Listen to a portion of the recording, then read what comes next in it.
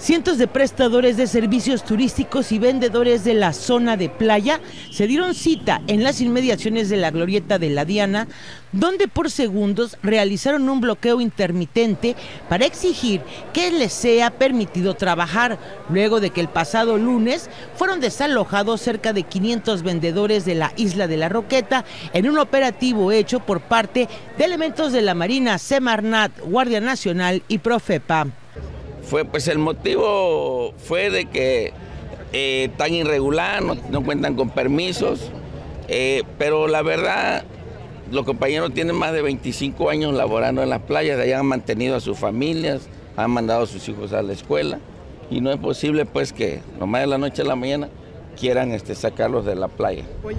Ante esta problemática, representantes de estos cerca de 500 comerciantes y prestadores de servicios turísticos afectados con dicho operativo y que de los cuales 400 no cuentan con permisos por parte de Sofemat, piden un encuentro con la gobernadora del estado, Evelyn Salgado Pineda, en aras de solicitarle que los apoye para que las instancias federales les permitan seguir trabajando ahí, ya que les han informado que la isla de la Roqueta ya no será de acceso público.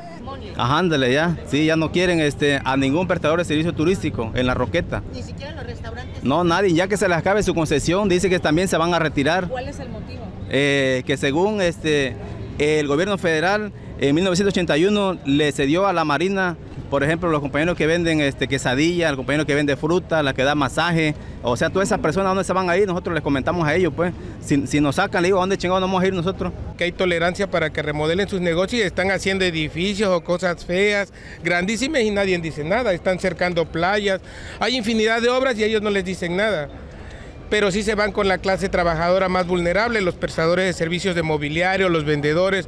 No queremos decir que nosotros no queremos entrar, queremos entrarle al ordenamiento, pero siempre y cuando se tomen en cuenta todos. Jairo Méndez Imágenes, RTG Noticias, Maui Ortiz.